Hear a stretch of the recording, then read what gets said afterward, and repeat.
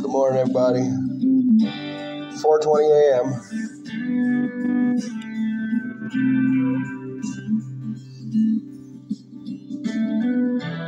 Old Kentucky Road. The song is "I Found Peace." I like this song. This dog.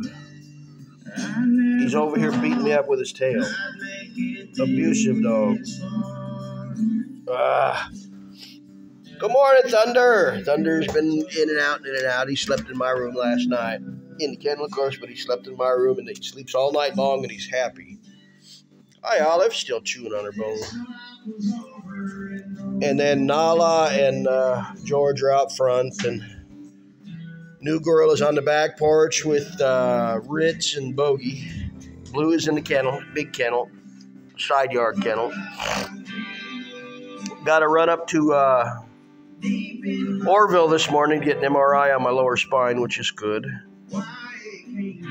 And then uh, my youngest son is going to be here at 6:30 to watch the dogs for me while I'm gone, so it should be a good day. All right.